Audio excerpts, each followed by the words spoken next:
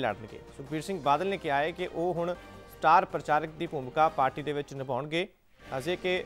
ਕੇਂਦਰੀ ਮੰਤਰੀ ਹਰਸਿਮਰਤ ਕੌਰ ਬਾਦਲ ਦੇ ਚੋਣ ਲੜਨ ਸੰਬੰਧੀ ਉਹਨਾਂ ਨੇ ਕਿਹਾ ਹੈ ਕਿ ਕਿੱਥੋਂ ਉਹ ਚੋਣ ਲੜਨਗੇ, ਇਸ ਬਾਰੇ ਫੈਸਲਾ ਪਾਰਟੀ ਦੀ ਮੀਟਿੰਗ ਦੌਰਾਨ ਲਿਆ ਜਾਏਗਾ। ਹੁਸ਼ਿਆਰਪੁਰ ਦੇ ਪਿੰਡ ਚੱਬੇਵਾਲ ਦੇ ਵਿੱਚ ਉਹ ਪਾਰਟੀ ਵਰਕਰਾਂ ਨਾਲ ਮੁਲਾਕਾਤ ਕਰਨ ਲਈ ਪਹੁੰਚੇ ਹੋਏ ਸੀ। ਇਸੇ ਦੌਰਾਨ ਉਹਨਾਂ ਨੇ ਚੋਣਾਂ ਦੇ ਵਿੱਚ ਧੱਕੇਸ਼ਾਹੀ ਦੇ ਸ਼ੰਕੇ ਵੀ ਜ਼ਾਹਰ ਕੀਤੇ ਨੇ। ਸੁਖਬੀਰ ਸਿੰਘ ਬਾਦਲ ਨੇ ਇਸ ਦੌਰਾਨ ਮੰਗ ਕੀਤੀ ਹੈ ਕਿ ਚੋਣਾਂ ਦੇ ਵਿੱਚ ਪੈਰਾਮਿਲਟਰੀ ਫੋਰਸ ਦੀ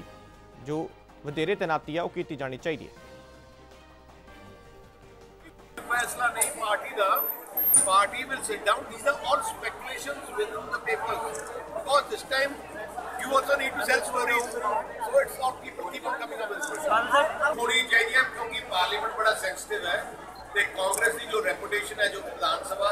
ਪੰਚਾਇਤ ਇਲੈਕਸ਼ਨ ਜ਼ਿਲ੍ਹਾ ਪ੍ਰੀਸ਼ਦ ਕੀਤਾ ਸੀ ਦੇਰ ਦਾ ਜਿਹੜੀ ਪੁਲਿਸ ਹੈ ਪੋਲਿਟਿਸਾਈਜ਼ ਹੋਈ ਪਈ ਹੈ ਸੋ ਇਹਨਾਂ ਨੂੰ ਕੰਟਰੋਲ